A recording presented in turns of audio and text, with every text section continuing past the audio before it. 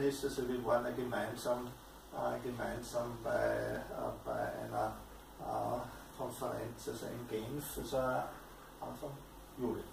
Ja. Anfang Juli war das, ja.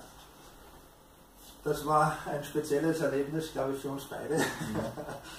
Und äh, es freut mich, also äh, gerade auch zu dem Thema Werte, weil da haben wir so, so viel gemeinsam, also, äh, dass, dass, dass er heute zu uns gekommen ist.